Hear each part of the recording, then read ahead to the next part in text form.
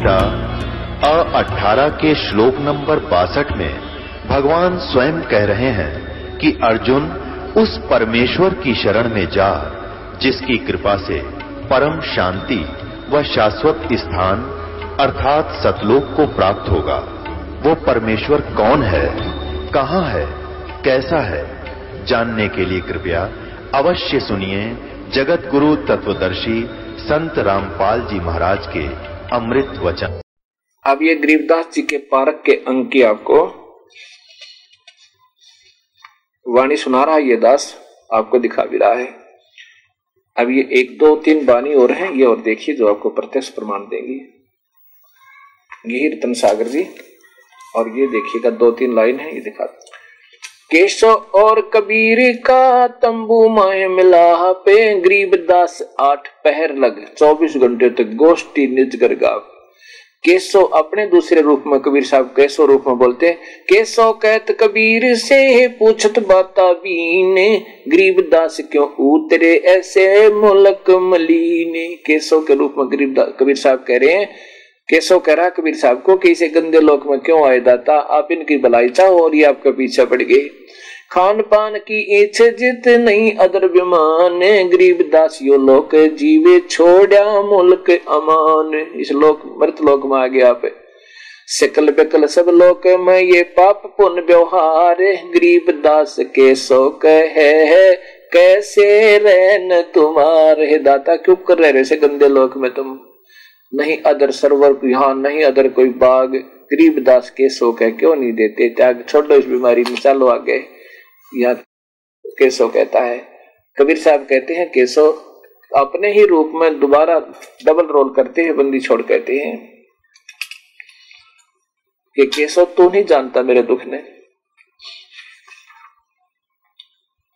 अब ये मेरे बच्चे हैं और ये गलती कर गए अब मैं चाहता हूँ कि ये फिर मेरे को समझ कर मेरे साथ हो ले और आ जा मेरे पास में और इनको मैं अपने सतलोक में ले जाऊँ। क्या अंग चल रहा है। गरीबदास जी की वाणी से पारक का अंग चल रहा है। इसमें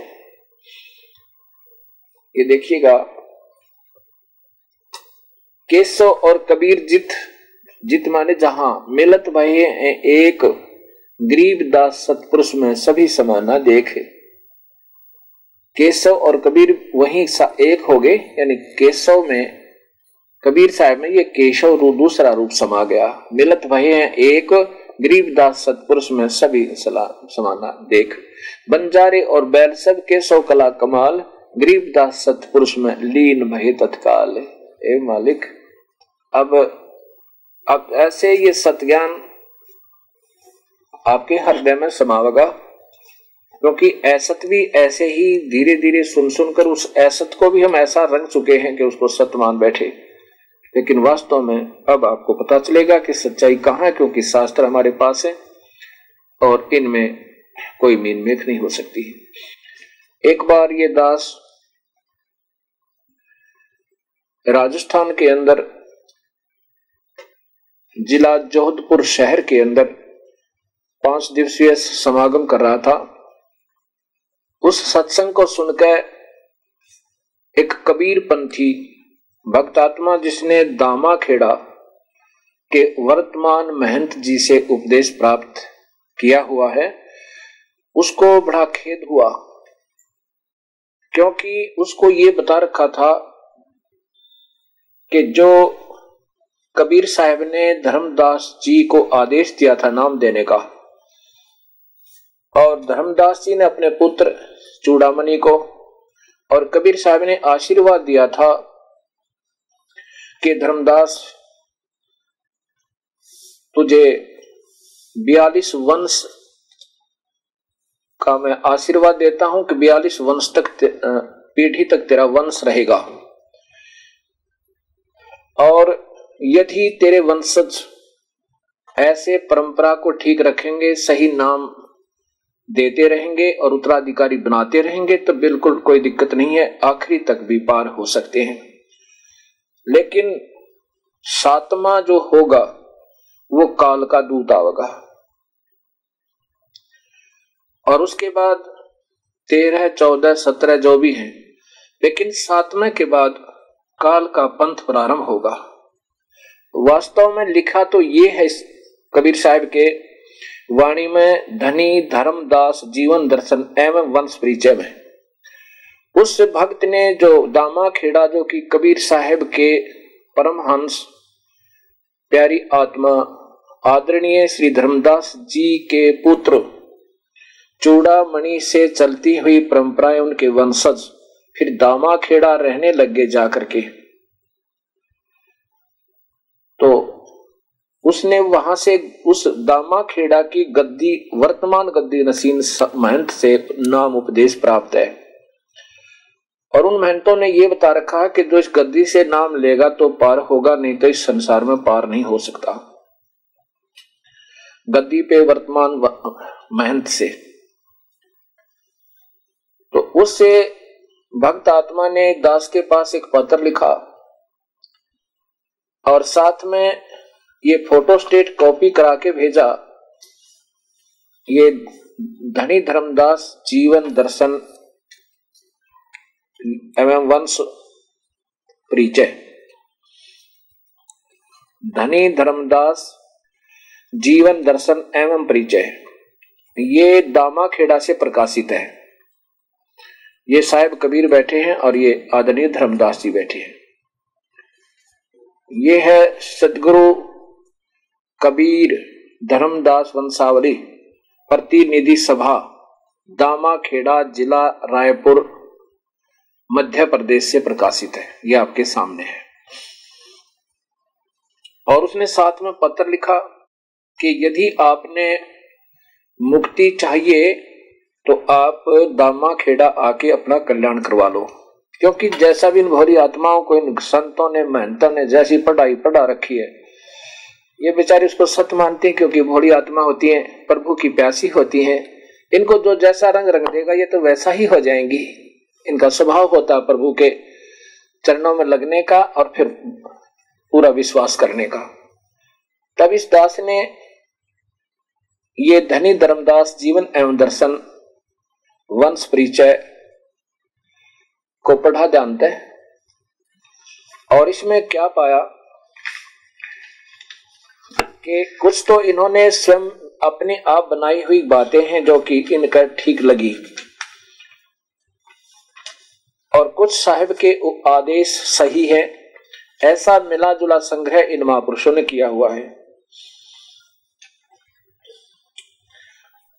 पहले तो ये दास आपको ये दिखाना चाहता है कि कबीर साहब ने ये प्रत्यक्ष कहा है कि सातवां जो वंश होगा, सातवीं पीढ़ी जो आएगी, सातवां जो उत्तराधिकारी होगा, वो काल का दूत होगा और वहाँ से ये काल जपेटा देगा, मुझे दोष नहीं, धर्मदास। और तेरे पीढ़ी भी वही कामयाब होगी जो मेरे वचनों पर चलती रहेगी। वचन भंग करके वो कभी कामयाब नहीं हो सकते। यदि नाम बदल दिए, वास्तविक मंत्र नहीं रहे तो भी सारे के सारे नरका का आहारी होंगे, चाहे गद्दी वाले हों, चाहे बिना गद्दी वाले हों। हाँ तेरा वंश ज़रूर, बयालीस वंश पीढ़ी तेरी चलती रहेगी।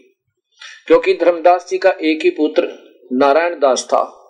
वो काल का भेजा हुआ दूत था, उसने कबीर परमेश्वर की बात को नहीं स्वीकार किया था।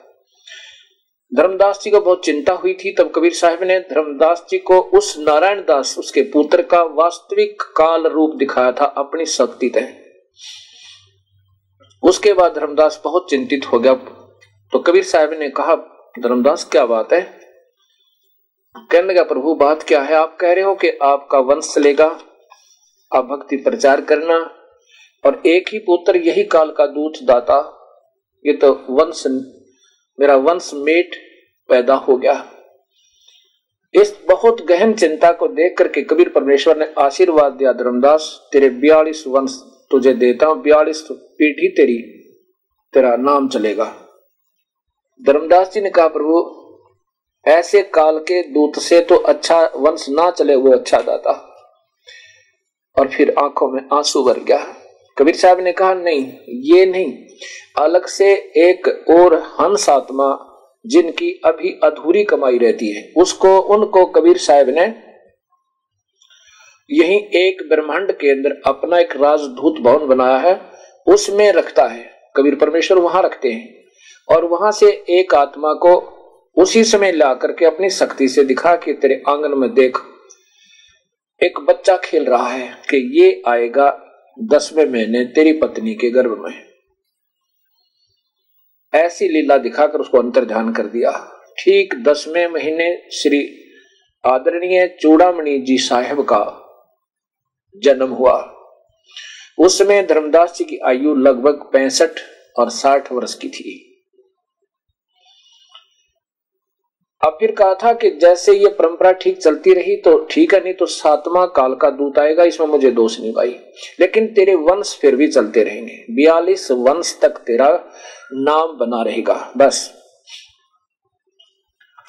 अब सबसे पहले मैं आपको दिखाता हूँ कि कबीर साहब बता रहे हैं कि जब तक ये है वही पुस्तक और इसके प्रश्न नंबर 52 पे, यानी बैसठ पर लिखा है। ये आप स्वयं पढ़िएगा, देखिएगा। सुन धर्मनी जो वंश नसाई, तेरे वंश का जहाँ से विनाश होगा, वो बात सुन मेरी।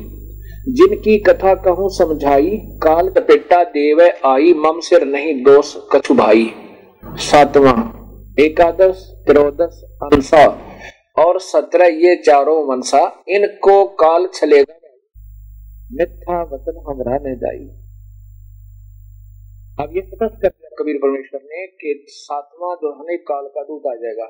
जब पाँच सातवें की उसमें पावर हाउस में सातवें पावर हाउस में बिजली क्रेडिट उससे आगे जा ही नहीं जब ये ट्रांसफार्मर सातवां खराब हो गया तो आगे बिजली नहीं जा सकती। सीधी सी बात है। छह तक तो ठीक चला। आप देखो।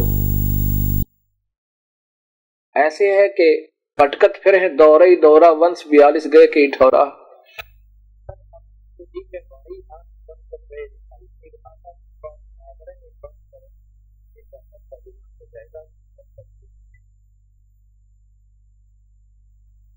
देखो।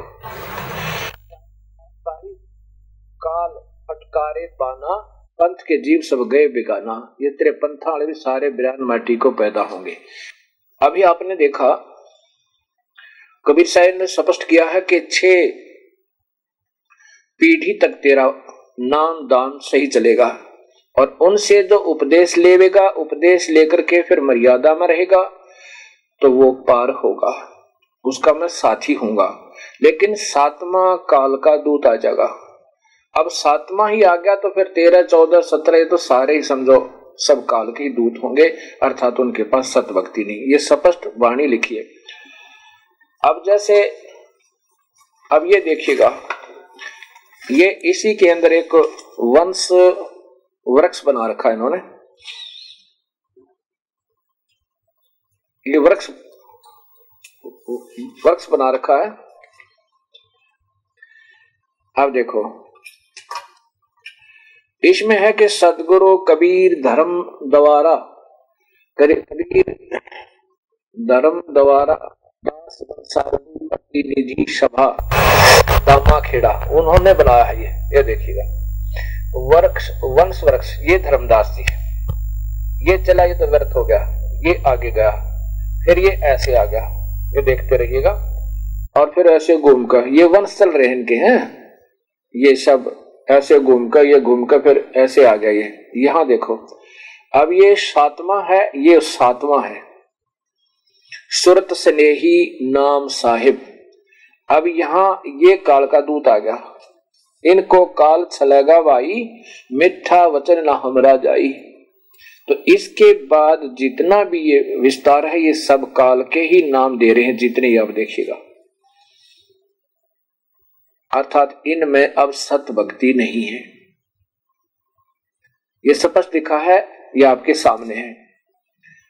अब इससे ये क्या सिद्ध होता है कि अब उन पंथों से, उन वंशावलियों से सत नाम प्राप्त नहीं हो रहे ये भी आपको प्रमाण दूँगा, वो क्या नाम देते हैं। और वो शास्त्र विरुद्ध होने से सब व्यर्थ है।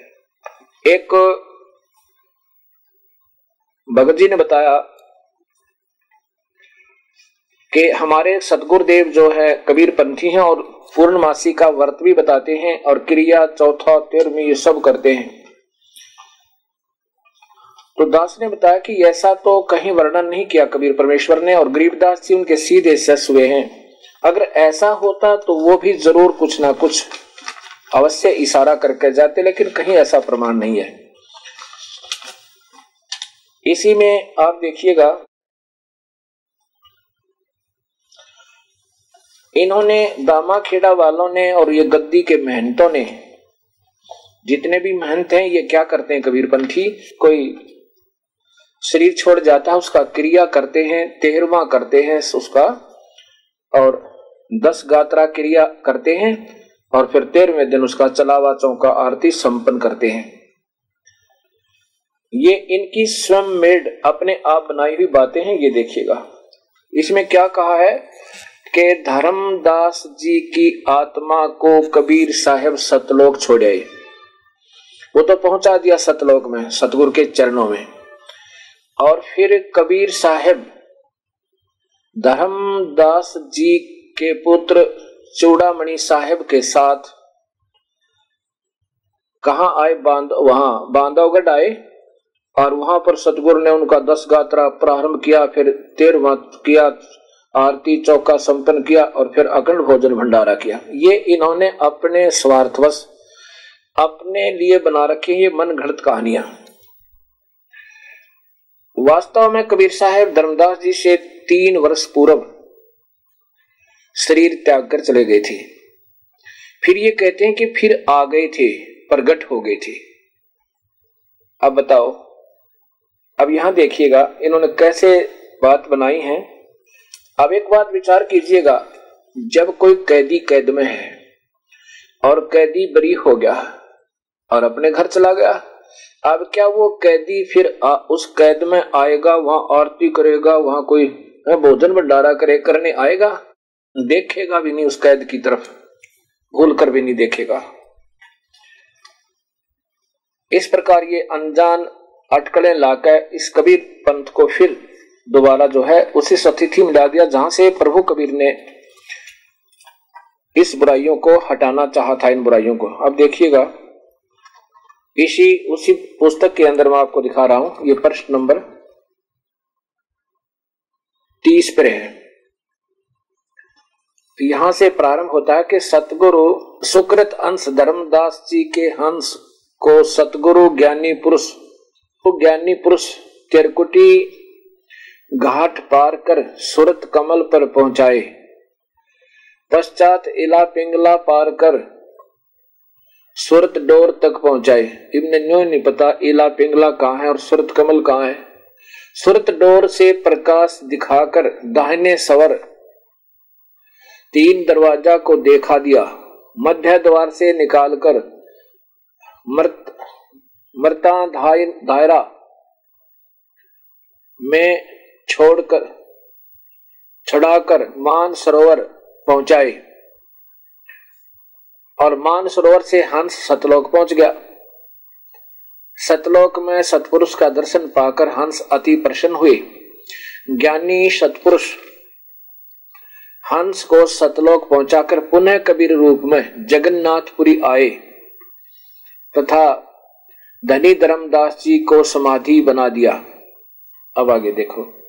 चूरामणि जी ज्ञानी पुरुष को सदगुरु में देखकर प्रसन्न हुए। सदगुरु से बोले, गुरुवर, क्या आज्ञा है? सदगुरु आठ नारियल मोड़कर सम्मान में चबूतरा बनाने का आदेश दिए।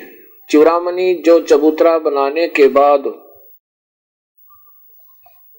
कबीर साहेब से बोले, बंदी छोर, कृपालु गुरु अब अंतोष्टि कार्य के लिए हेतु बांधवगढ़ चलिए। सदगुरु कबीर चूरामणि के साथ बांधोगढ़ आए। वहाँ धनी धर्मदास जी का दस गात्र क्रिया प्रारंभ हुआ। तेरहवें दिन चलावा चौका आरती संपन्न हुआ। अखंड भोजन भंडारा किया। अब ये इन मेहनतों और संतों के अपने लगाए हुए अटकड़े हैं। एक कबीर साहब की तरफ़ से कोई आदेश नहीं है। अब जब आत्मा वहाँ चली गई, जिसके लिए सारा काम हो रहा था, वो कैद मुक्त हो गया और वो सतगुरु के चरणों में पहुँच गया। कौन देखा या पीछे, नहीं कैद के अंदर आके कोई नहीं आएगा। इस प्रकार ये नादान संतों ने अपनी अटकलें लगा दी। अब इसी दामा खेड़ा को प्रसिद्ध मानते उसके बाद खरसिया गद्दी को। खरसिया गद्दी को बहुत ही उत्तम माना जाता है।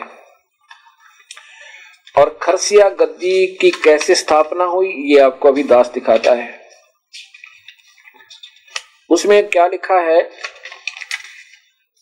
इसमें लिखा है, यही वचन वंश बयालीस की, के चतुर्दश वंश। अब इसमें आप पे स्वीकार कर रहे हैं और जो की तो सतगुरु की बताई हुई बातें सत्य हो रही हैं। जैसा कि अभी आपने देखा था कि कबीर साहब ने बताया कि सातवा और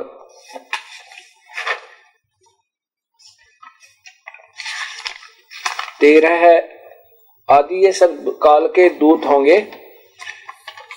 अब इसमें चौदहवें में देखो आप। वंश बयालीस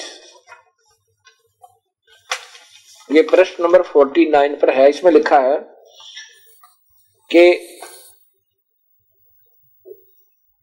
ग्रंथमुनि नाम साहेब का जन्म जो है संवत उन्नीस सौ बानवे में, गद्दी उन्नीस में, संवत में। वर्तमान दामा खेड़ा के अंदर वो गर्द मुनि नाम साहेब विराजमान है। उस समय की ये लिखी हुई किताब है। इन्होंने क्या लिखा है कि देखिए, ये वही पुस्तक है, वंश बयालीस।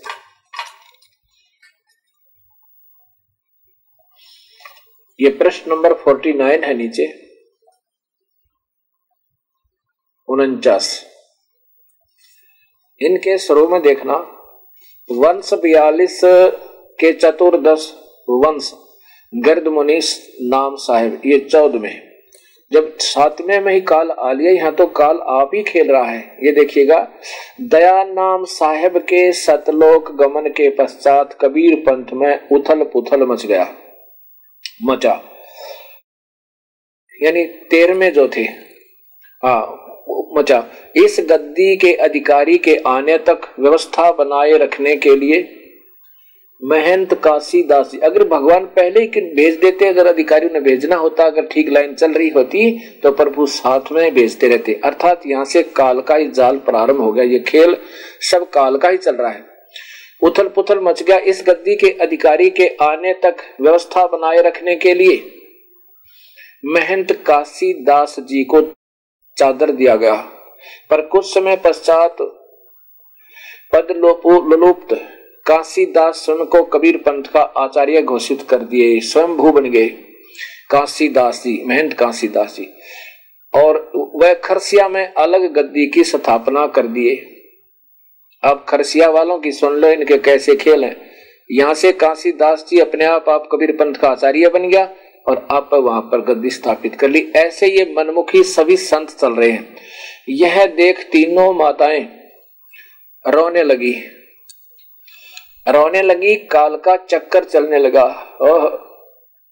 फिर देखिए, यह देख तीनों माताएँ रोने लगी, काल का चक्कर चलने लगा। बाद में कबीर पंथ के हित में वह कबीर साहब तथा दयानाम साहब के वचनानुकूल मंजला लाल साहब के यहाँ चतुर्भुज दास जी प्रकट हुए।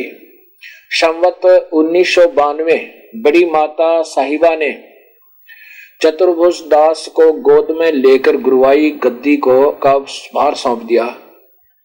और संवत उन्नीस इतने विशाल कबीर पंथ का भार ढाई वर्ष के बालक के कंधों पर आ गया। पर नौतम पुरुष के सुकृत अंश के समक्ष काल का कोई कुचक्कर न चल पाया, चल सका। अब देखियो, ये ढाई साल का बालक और उठा के उसकी माँ ने बैठा दिया गद्दी पे और ये महात्मा बन गया। घर की घर की गड्डी बना रखी है, घर की सरकार बना रखी है मेहनतों ने और यही सब काम बिगाड़े बैठे हैं। अब देखिए, उनकी माता जी ने ढाई साल के बच्चे को उठाकर एक चद्दर बछा कर गद्दी पर बैठा दिया तो यो महात्मा बन गया। अब तक क्या तो ये ज्ञान देगा ढाई साल का बालक? और आप जो अगर प्रभु चाहते तो ऐसी गड़बड़ नहीं होने देते। साहिब को मालूम था कि ये वंश ढंग से नहीं चल सकते। और इसी प्रकार ये गरीबदास जी की गद्दी छुड़ानी में यहाँ पर भी ऐसा ही चक्कर चल रहा है, क्योंकि ये तो दादा लाई बना रखी है नंबरदारी इन्होंने। या तो जो बड़ा बेटा ये क्या करते हैं, बड़ा पुत्र, चाहे वो दारू पीवे चाहे शराब पीवे मांस खावा कुछ भी करे, वो गद्दी का मालिक, और फिर वो उपदेश दे, उससे दुनिया पार हुए ऐसे ही गरीबदास जी की कबीर, गरीबदास भगवान ने कोई गद्दी नहीं बनाई थी और ना ही पहले के पाँच, छह, सात चार, पाँच संतों महंतों ने बिल्कुल गद्दी को छुआ भी नहीं था, देखा भी नहीं इसकी तरफ़। एक छोटी सी यादगार बनी हुई थी, बनी रही, वो अपना नेक नीति से विधिवत चला करते थे। अब ये काल का जाल कुचक्कर फिर चल पड़ता है।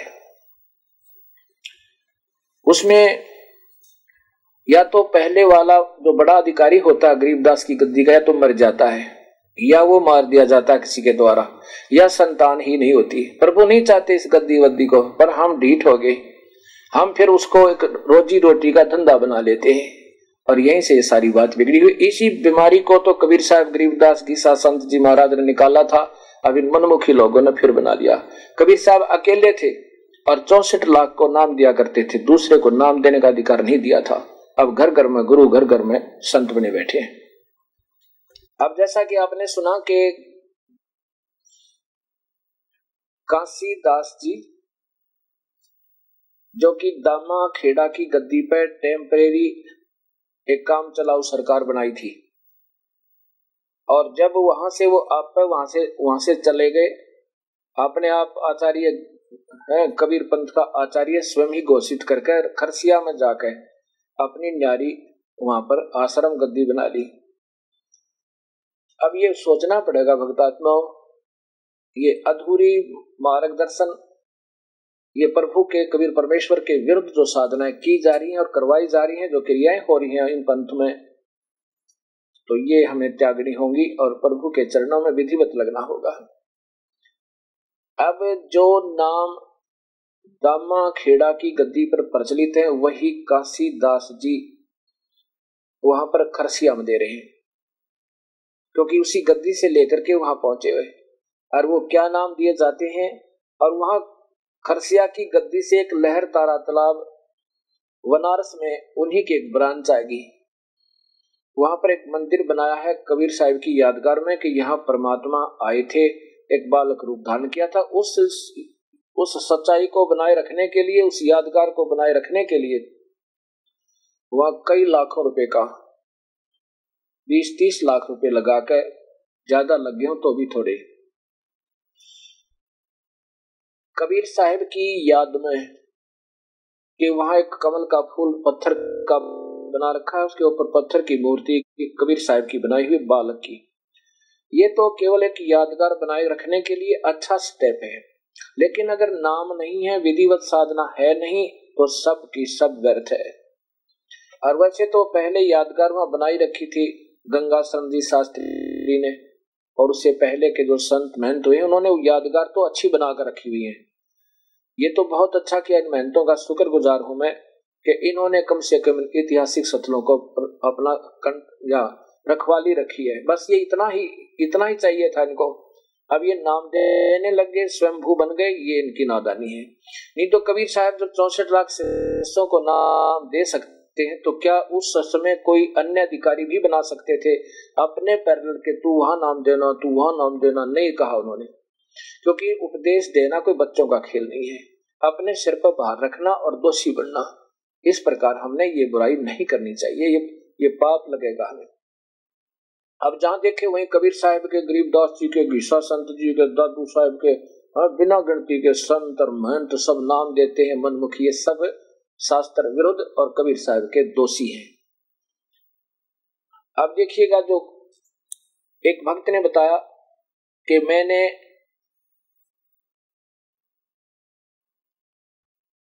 कबीर धर्मस्थान खरसिया से ही संबंधित लहर तारा तालाब में।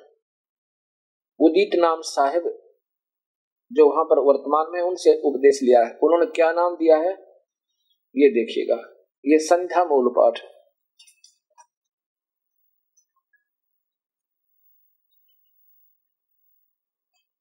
ये संध्या मूल पाठ, सतनाम। सतनाम तो लिखा ऊपर।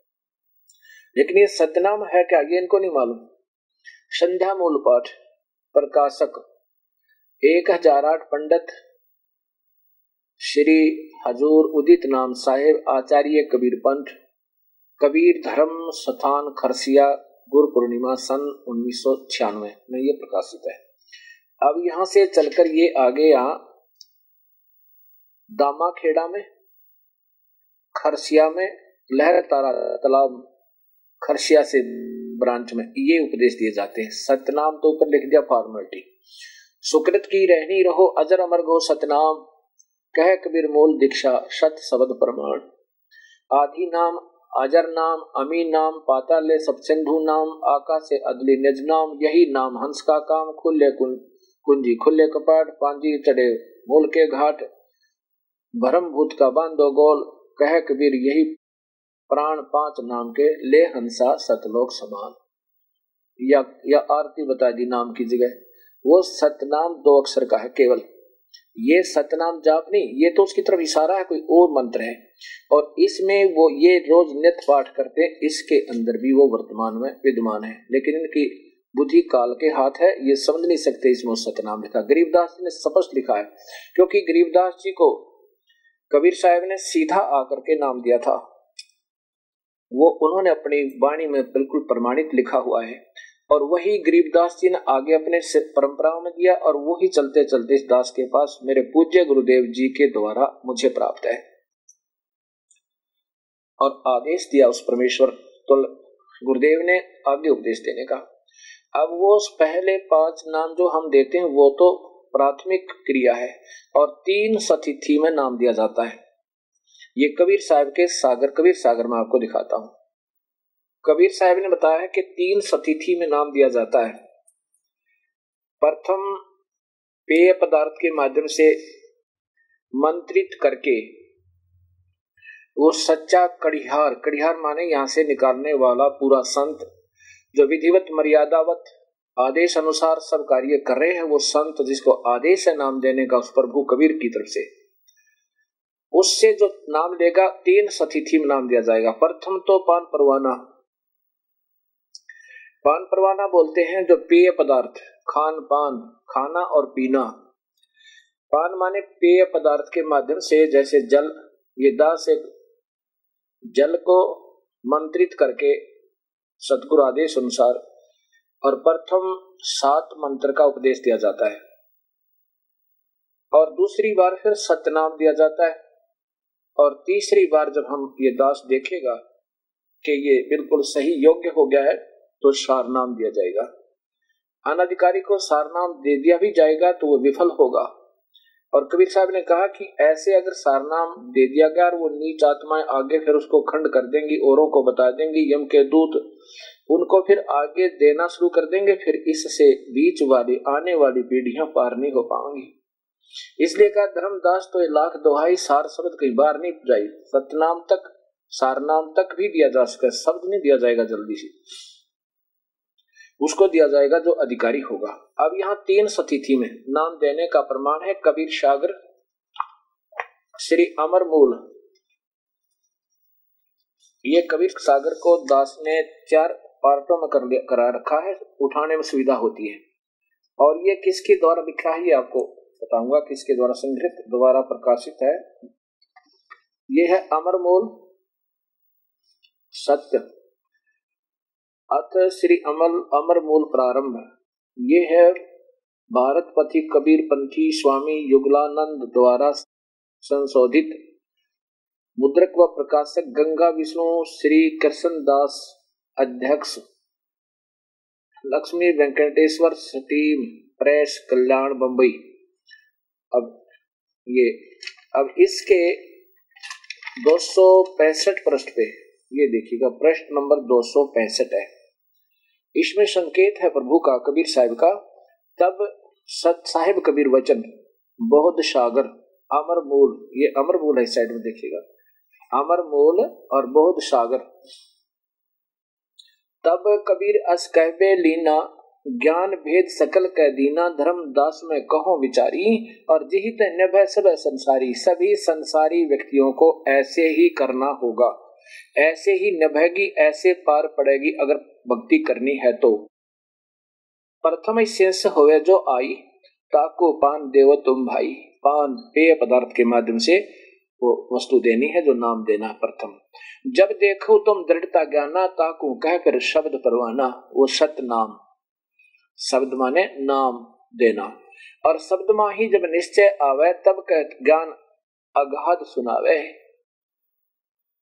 अब देखो, तीसरी सतिथि में ये तीन सतिथि बनती है, एक, दो और तीन।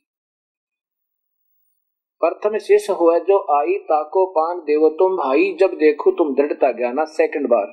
तो उसको फिर सत्य नाम सच्चा नाम देना है सच सच्चा शब्द देना है। और शब्द अर्थात नाम को भी शब्द कहते हैं। शब्द माही, नाम माही जब निश्चय आवे, ताकू ज्ञान अगाध सुनावे। वो जो सार नाम है, अर्थात वो वास्तविक चीज़ फिर देवे ऐसे ये प्रमाण दिया है मालिक ने, और ये दास पहले ही ऐसे कर रहा है, ये दास ने तो अभी देखा है, क्योंकि कबीर पंथियों को कबीर सागर से ही स्वीकार्य होगा तो ये दास कह रहा है, उसको ये सत्य मानेंगे। अन्य वेदों और गीता से सत्य मानेंगे, कुछ गुरु ग्रंथ साहिब से सत्य मानेंगे, कुछ गरीबदास जी की वाणी से सत्य मानेंगे और कुछ पवित्र बाइबल तथा कुरान शरीफ से सत्य मानेंगे। ऐसे ही उनको उसी ढंग से वो सच्चाई का ब्यौरा देना है, तभी इन प्यारी आत्माओं को यह सत्य स्वीकार होगी। अब कबीर साहब कहते हैं कि धर्मदास तो लाख दोहाई, ये कबीर सागर जीवन, जीव धर्म बोध ये है कबीर सागर, जीव धर्म बोध। ये है बोध सागर और जीव धर्म बोध। इसमें नीचे लिखा है, धर्मदास तो लाख दोहाई, वो सार शब्द बाहर ना जाई। देख कितना प्यार तक है भाई, ये ना किसी आम व्यक्ति को बताना। बहुत ही अधिकारी, तभी अधिकारी खूब तो परीक्षा ले लेगा जब ये शब्द सार शब्द देना। सार नाम तक दिया जा सकता है। सार शब्द बाहर जो पर है और बिचले पीढ़ी हंस नीतर है, हे मालिक। अब जैसे मान ले, हम किसी को दे दे, बीच का काल के दूत इसको लेकर के देना शुरू कर देंगे, नाम तो वो कहेंगे, वो भी तो ऐसा ही नाम देता है। वो बका लेंगे इन बड़ी आत्माओं को। जैसे अब ये सारे पकड़े गए, किसी के पास सच्चा नाम नहीं है, ना कबीर पंथ में, ना गरीबदास पंथ में, ना गीसा पंथ में। और अन्य तो बेचारे भुलाई रखे थे, जो अन्य पंथ वाले। युगन युगन तुम सेवा कीनी, ता पीछे हम यहाँ पग दीनी। और कोटिक जन्म भक्ति जब कीना सार सब तभी पेचीना अंकुरी जीव जो होए कोई, सार शब्द अधिकारी सोई, और सत कबीर परमाण बखाना, ऐसे कठिन ही पद निर्वाणा स्पष्ट कर दिया। अब आगे बताते हैं जो नकली है ना, नाम देने वाले नकली कड़ियार, उनको नरकमठ हो क्या जागा?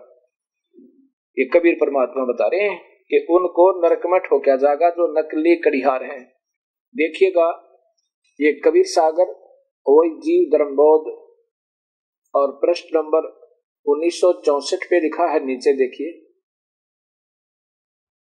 यहाँ देखिएगा कि अथ शरणागत को वर्णन चौपाई। सतगुर शरण सकल सुखदाई ताते जीव सतलोक समाई साचे गुरु की गहिए शरणा, सोई जीव दुसह दुसह दुख हरना। झूठे गुरु से काज न सरही धोखे जीव ये मुख मुख यम के मुख पर ही, ये सुख गलती से लिखा है। झूठे गुरु से काज न सर ही धोखे जीव यम के मुख पर ही। अब अब इसका आपको और दिखाता हूँ कि उन झूठे जो गुरु हैं, उनके साथ परमात्मा कबीर साहेब, अर्थात के सलूक होगा। ये देखिएगा। ये कबीर सागर अंबु बोध। देखिएगा। अंबु सागर, प्रश्न नंबर फोर्टी एट पे और इधर से है ये अम्बू सागर। ये फोर्टी एट अड़तालीस पृष्ठ पे। कड़िहार वंश चौपाई। मार्त जीव करे बड़ सोरा। ये ऊपर से आ रहा कि जो निकले, नीच आत्मा जो नाम देती है, झूठे उनको तब नकली उन दूतों को के द्वारा नटोरासी नाग कुंडों में ठोका जाता है इनको। हम ठाठ, कबीर साहब कहते हैं, फिर उन चौरासी लाख कुंडों में कहा जाए, हम ठाठ रहावा देखकर जीव विनय तब लावा। वो नकली गुरुओं ने, जो नकली कड़िहार बने थे, नाम दिया करते, तब वहाँ में पहुँचे ना, चौरासी कुंडों में ठोक रखे थे।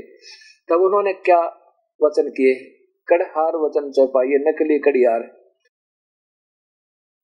मार्ग जीव करे बड़ सोरा, बाँध बाँध कुंड कुंडन में बोरा।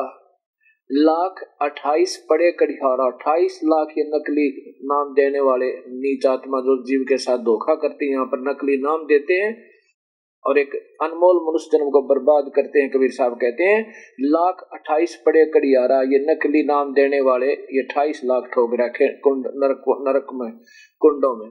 बहुत कष्ट तय करत पुकारा अट्ठाईस लाख पड़े कड़िहारा, बहुत कष्ट तय करें पुकारा। हम भूले स्वार्थ के संगी। वो गए मालिक हम तो स्वार्थ में मान बुढ़ाई में भूल रहे थे। अब हमारे ना ही अर्धंगी अब तो हमारे यहाँ कोई भी कोई ना हमारा साथी भी नहीं है। हम तो मरत अग्नि के झारा। अंग अंग सब दर्द हमारा। कौन पुरुष अब राखे आई? करत गुहार चक्षु ढल जाई। हे मालिक, हमारी तांख फूटी, रो रो के अब हमारा कोई दया करे हमारे ऊपर।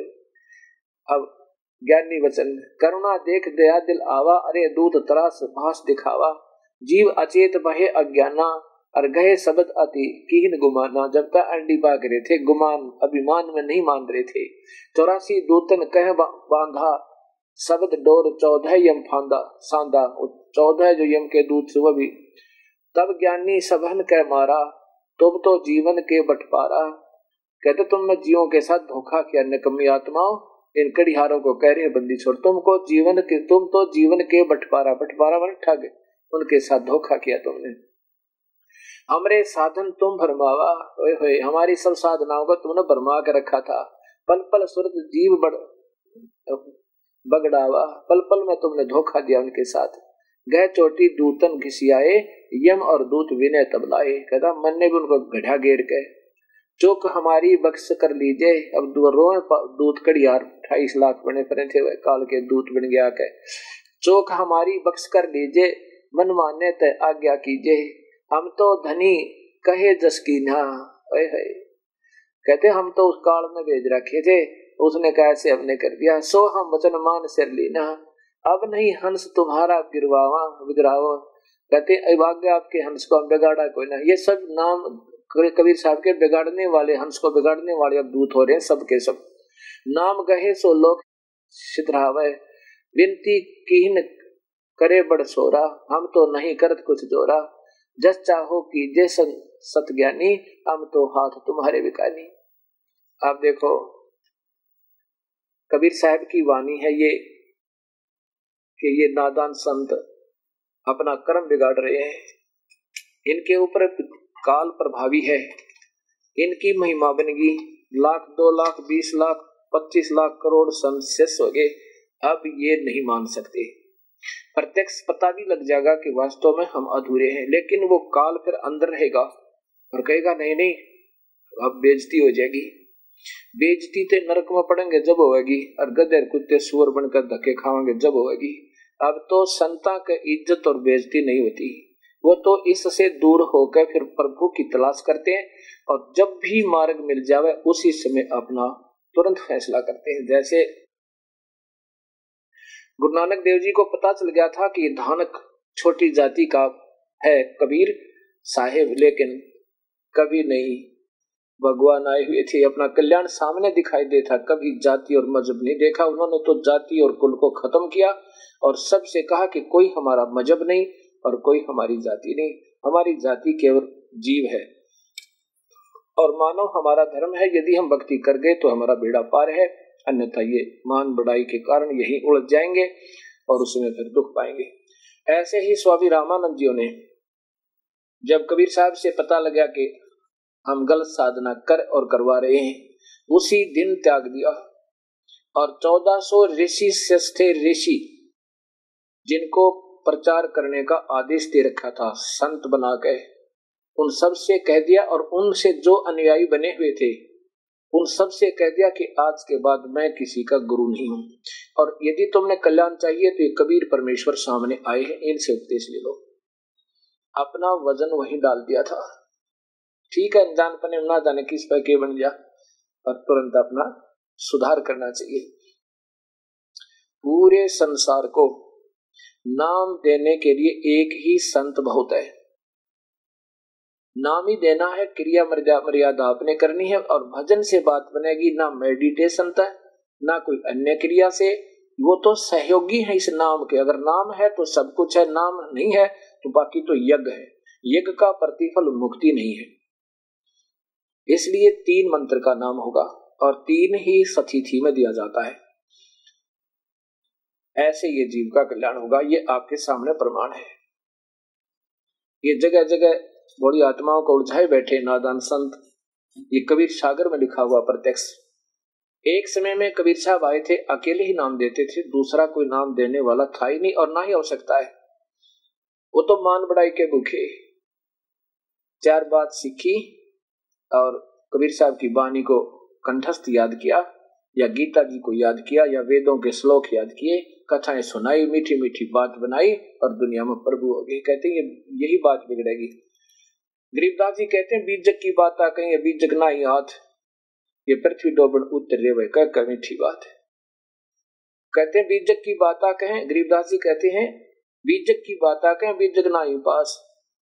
औरों को प्रमोद ही ये आप जाओ निराश। औरों को तो ज्ञान देते हैं और स्वयं ही निराश जाएँगे। कबीर साहब कहते हैं, पंडित और मसालची दोनों सूझे ना, औरन को करे चाँद ना रहे, आप अंधेरे कबीर इस संसार को समझाऊ के बारे, पूछ पकड़ के बेड़ की तेरा चाव पारे। भेड़ की पार पूछ पकड़ के और दरिया से पार होना चाहते हैं, दरिया से पार के लिए नाम रूपी नौका चाहिएगी। अन्य साधनाएँ तो भेड़ बकरियाँ हैं। जैसे ऋग्वेद मंडल नंबर दस, सूक्त नंबर नब्बे के एक से सोलह नंबर सारे सोलह श्लोकों में पूर्ण विवरण है कि ये नादान संत अपनी मनमुखी शास्त्र बना बना के और कहते नीचे सत्र पर गिरते गिरते घोड़े, फिर बकरी, भेड़ बकरियाँ पा गए अर्थात निमन सत्र की साधना को भेड़ बकरिया कहा है सतगुरु ने।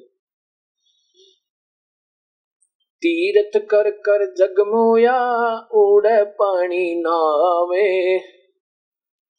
नाम नाम न जटा, काल घसीटे जावे। एक नाम ने छोड़कर अन्य साधना जो भी जैसी कर रहा है, वो सब व्यर्थ है। और नाम भी सच्चा हो, पूरे संत से हो, पूर्ण परमात्मा का आदेश हो, नाम देने का तब ही वो सफल होगा, अन्यथा नहीं होगा। मैं इस दास ने कोई शौक नहीं था नाम देने का। मैं तो अपनी सर्विस किया करता था। नौकरी करता था नाम मुझे मिल गया था, गुरुदेव की कृपा होगी थी। और अपनी तय दिल से प्रभु की भक्ति कर रहा था। और कोई संशय नहीं था। खूब अच्छा मैं, मुझे तो प्रभु पाने के बाद, प्रभु पाने के लिए घर नहीं त्यागा दास ने। प्रभु तो मालिक ने नाम मिला दिया, उसकी सारी सतिथि बता दी। बहुत ही शीघ्र उपलब्धि होगी थी। उसके बाद उस परम पिता परमेश्वर कबीर साहब के आदेश से उन्हीं के प्यारी आत्मा, मेरे पूज्य गुरुदेव ने इस दास के ऊपर यह भार डाल दिया। उनके लाखों शिष्य थे और ऋषि संत भी बने हुए थे, वो कपड़े लाल पहन गए, लेकिन उस परम पिता ने उनको आदेश नहीं दिया। इस दास के अंदर दो कौड़ी के जीव के अंदर ना जाने क्या देखा उस मालिक ने। दास तो यही कहेगा कि, गुरु मेर करे तय कागा तो हंस बना दिया मैं तो काग था। दुर् दुर, दुर्बुद्धि जीव था। मालिक ने कृपा की इसको, काग को हंस बना दिया अपने को। अब मेरे पूज्य गुरुदेव का चित्र देखियो। 113 14 साल की आयु उनकी। वह शरीर छोड़ा इन्होंने। ये मेरे परवरदिगार सतगुरु। रामदेवानंद जी बैठे हैं इनकी। उस समय जब इस दास को आदेश दिया, लगभग 113 वर्ष की आयु थी। फिर ढाई तीन वर्ष तक दास के साथ रहे, फिर अपना बिल्कुल आराम से 40 दिन दास के पास रहे, यहाँ जींद, उसके बाद तलवंडी, फिरोजपुर जिला, पंजाब में जाके 26 दिन 24 जनवरी को गए थे।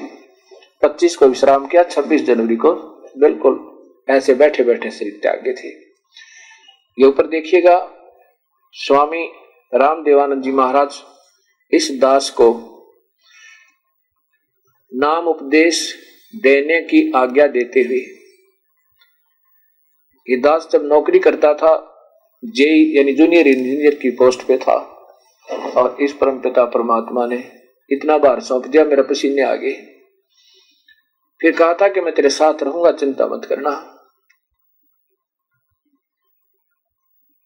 इस प्रकार ये दास ने इन्हीं की रजाते इन्हीं की कृपा से ये जीव उद्धार का कार्य प्रारंभ किया। इन्होंने ही करवाया। ये दास कुछ नहीं कर सकता। और इनके अंदर ईश्वरीय शक्ति कबीर परमेश्वर ही समझो समाये हुए, अर्थात उनकी शक्ति काम कर रही थी। ये सारा आशीर्वाद इस दास को देगी और कहा कि मैं तेरे साथ रहूँगा, घबराना नहीं।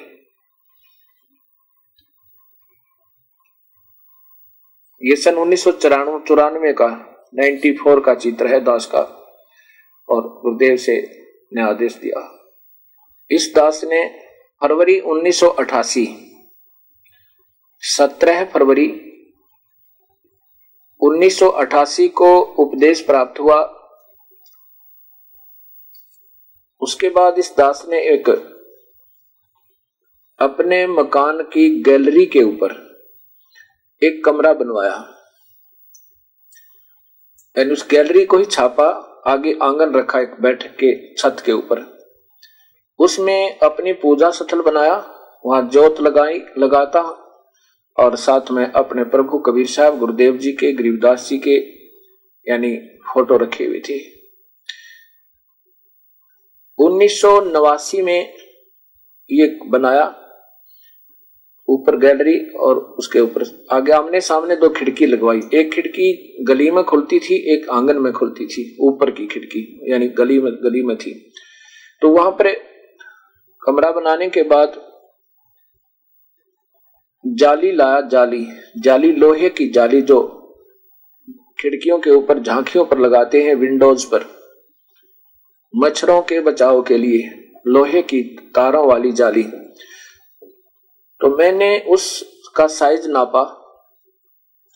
दोनों झांकियों का एक साइज़ था। दोनों को नापा और नाप करके इधर रोहतक शहर की बात है। एक उस जाली वा, जाली वाले दुकानदार से कहा कि भैया इस कागज़ के ऊपर ये मैयरमेंट लिखी है। पैमाना ये माप कर दिया हुआ है मैंने। इसके अनुसार दो जालियाँ काट दे इस साइज़ की। और मैं उसको कागज़ देकर के वो जो इस पे लिखा हुआ था, आगे किसी कामवश चला गया स्कूटर पे। टू सी जो टू व्हीलर होता है। कुछ सामान और लेकर के आया, वापस आया तो दुकानदार ने वो काट के, बाँध के, पैक करके रखी, मैं उठा के चला गया।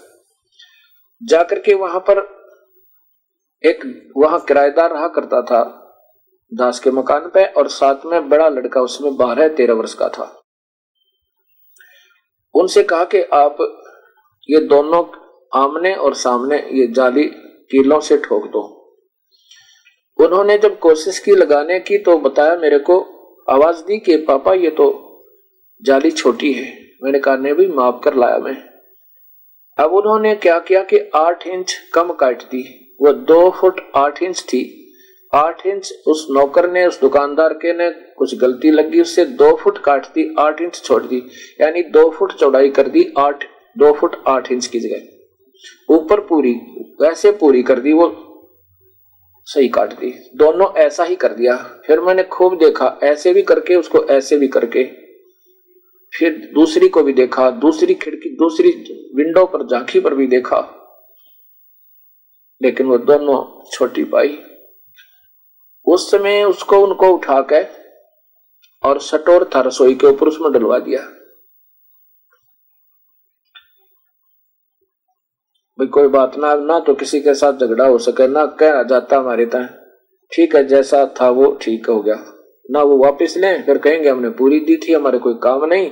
इस उद्देश्य को जानकर भाई अपने सिर में दर्द नहीं करना, हम प्रभु के भक्त हो गए। ऐसे सटोर में डाल दिया। तो छह महीने के बाद एक रेनी सीज़न, वर्षा का ऋतु पार हो गया उसके ऊपर के उन जालियों को जंग भी लगा हुआ था। जब ये मैं आपको बताता हूँ क्या कहानी बनी। इस दास ने एक एक बार कुछ नित्य नियम की पुस्तकें बनवाई। छोटी छोटी बनती थी। ऐसी एक गरीबदास जी की वाणी की और कबीर साहब की वाणी की हम छोटी छोटी पुस्तकें बनवाते हैं जो नित्य पढ़ा जाता है सुबह शाम दोपहर को। दो हज़ार बनवाई। उनको ला करके उस कमरे में जो ऊपर गैलरी पर बनाया था, साढ़े पाँच बाई पंद्रह फुट का, उसमें एक तख्त डाला हुआ था। उस तख्त के ऊपर ला के रख दी वो दो हज़ार की, दो हज़ार ऐसी पुस्तकें। उसकी एक खिड़की का, एक विंडो का डोर दरवाज़ा फूटा, टूटा हुआ था, शीशे का था, पूरा का ही पूरा। उसमें से चूहे घुस गए और उन पुस्तकों को काटने लगे। तो मैंने ऊपर जाकर देखा कि दो तीन पुस्तकों को काट रखा। तो फिर मुझे याद आया, क्यों ना उन दोनों जालियों को जो छोटी थी, ऊपर नीचे करके एक पर लगा दे। तो ये प्रोटेक्शन हो जा। ऐसा सोचकर मैंने अपने बड़े पुत्र से कहा कि भाई, ऐसे करना, इस दोनों की दोनों जो वो जालियाँ थी ना, छोटी ऊपर रखी थी बड़ी पूरी नहीं थी। उन दोनों को ऊपर नीचे करके और इस एक विंडो पर पूरा कर दो। चूहे घुस रहे हैं और पुस्तकों को काट रहे हैं। ऐसा कहकर ये दास चला गया अपनी नौकरी पे, ड्यूटी पे। शाम को आया। शाम को मैं आया जब एक जाली तो वहीं नीचे पड़ी थी, उस विंडो के नीचे। और एक चौबारे वाली विंडो पर, पूरी खिड़की पर एक ही जाली लगी हुई थी और कुछ थोड़ी सी फालतू भी थी। जिधर से छोटी थी, उधर से ही पूरी होकर के भी और भी दो तीन इंच, चार इंच और ज़्यादा थी। बाकी तीन साइड से बिल्कुल ओके थी, फुल साइज़ की। मैं आया, मैं हैरान रह गया कि जाली तो खर लगा दी है, परंतु दोनों नहीं लगाई, एक नीचे पड़ी है। मैंने उस लड़के की मम्मी से कहा, क्या ये जाली को बदलवा लिया क्या लड़का? वो कहने लगी, नहीं, वो तो कहा का बदलवा था? तो आप कहकर गए थे। उसके बाद मैंने भी बीस बार कहा, भाई, तेरा पापा आएगा और तुझे गुस्सा होएगा तो इसको लगवा दे उस किराएदार को साथ बुला के। मैं सुबह की कह रही थी, उसको पता लगा ना कि आने वाले हैं। अभी दो मिनट, पाँच मिनट पहले, दस मिनट पहले वो लगा करके दोनों के दोनों और गए हैं। अभी मैंने सटोर से उतार कर उनको यहाँ डाली थी, और ये एक तो अभी यहीं पड़ी है, मैं इसको उठाकर रखने वाली थी। मेरे एकदम चक्कर आने को होगा पसीने आगे कि वही जाली हो ही नहीं सकती। मैंने कहा, वो लड़का कहा? वीरेंद्र नाम उस लड़के का। वो कहने लगी, वो यहाँ, यहीं खेल रहा बार बच्चों में। मैंने उसको बुलवाया। मैंने उसको कहा, भाई, बेटा मेरे सिर पे हाथ रख पहले तय तक मैं झूठ नहीं बोलूँगा। वो कहने का क्या बात पापा? भाई ये बात बता, तू कबीर साहब की कसम खा, अब झूठ नहीं बोलूँगा। कहने का क्या बात है? कि ये जाली तू बदलवा कर लाया है क्या? अक, नहीं, ये तो मेरी मम्मी ने स्टोर से उतारी और यहाँ डाल दी थी और इन्होंने कई बार कहा था, मैं ऐसे ध्यान नहीं रहा और अभी अनिल नाम है उस किराएदार का, उसने और मैंने अभी लगाया, लगाई है, ये तो एक ही जाली है, वही जाली है पुराने वाली। तब मैंने उसको याद दिला कि छोटी नहीं थी जो उस दिन तुम लगा रही थी। तब वो कहता हाँ छोटी थी तो। इतने में वो किराएदार भी आ गया। ये चर्चा सुनकर तब उससे भी कहा कि ये तो छोटी थी दोनों की दोनों। वो कहता हाँ जी, ये तो छोटी थी। पता नहीं क्या हो गया। ये तो वही अभी आंटी ने उतार के नीचे डाली थी और हमने दोनों ने लगाई है। और एक तो अभी यहीं पड़ी है। मैंने कहा, दूसरी और लगाओ। तो उस लड़के ने कहा, मैं कसम खाता हूँ कबीर परमात्मा की। पापा, मैंने मैं और नहीं लाया।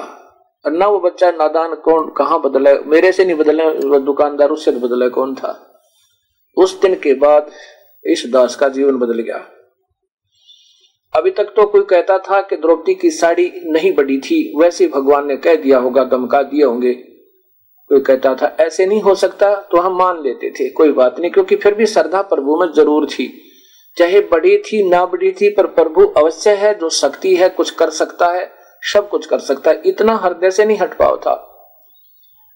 उस दिन के बाद इस दास का जीवन बदल गया अब कोई ये कहे कि परमात्मा इस इस पृथ्वी को एक मिनट में समाप्त कर दे और सब जीवों को खत्म कर दे और दूसरी सेकंड में एज इट इज़ सतिथि कर दे, सबके जो के तो परिवार बना दे तो अभी कोई दिक्कत नहीं, वो कबीर परमात्मा सब कुछ कर सकता है। अब तो ये संशय खत्म हो गया, ऐसा नहीं, वैसा नहीं, कैसा नहीं, वैसा नहीं नहीं हो सकता। ये तो मतलब ही नहीं प्रभु जो चाहे सो कर सकता है, ये कबीर परमेश्वर है। उसके बाद इस दास ने डंडोरा पीटना शुरू किया। और कसम खा खा कर अपने बच्चों की, और सब कसम खा खा के दुनिया, यहाँ के भक्तों का ये विश्वास दिला के पूर्ण परमात्मा है। उससे पहले हमें कोई भी मिलता था, जैसे आर्य समाज का इधर काफ़ी बोलबाला रहा है। और ठीक है, उनकी जितनी क्रियाएँ थी, बहुत अच्छी थी। बीड़ी शराब मांस तमाकू से बुराई रहित किया करते थे। देवी देवताओं की पूजा से बंद कराते थे और कहते थे, मंदिर में भगवान नहीं है तो मुझे दुख होता था। क्योंकि हम उन गुरुओं पर आधारित थे जो मंदिर में और मूर्ति में भगवान बताया करते थे। ये महसूस होता था कि ये तो गलत कह रहे हैं, मंदिर में क्या भगवान नहीं? लेकिन हम स्वयं अधूरे थे। उसके बाद कोई फिर मिलते थे, भगवान ऐसा नहीं कर सकता, फिर भी उनके विचारों को स्वीकार करते थे। और वो कहते थे, प्रभु, ऐसे नहीं कर सकता, द्रौपदी की साड़ी नहीं बढ़ा सकता, नरसी की हुंडी नहीं ले सकता। ठीक है, वो हमने तो बिल्कुल ज्ञान ही नहीं था, उन आर्य समाज जी वाले विचारों के व्यक्तियों से, बुज़ुर्गों से हम सुनते थे, सहमत हो जाते थे। लेकिन क्रिया फिर भी अपने हिसाब से मानते थे परमात्मा कोई ना कोई है ज़रूर। शक्ति है। और मन में यह भी रहता था कि भगवान ने साड़ी बुढ़ा दी, द्रौपदी की।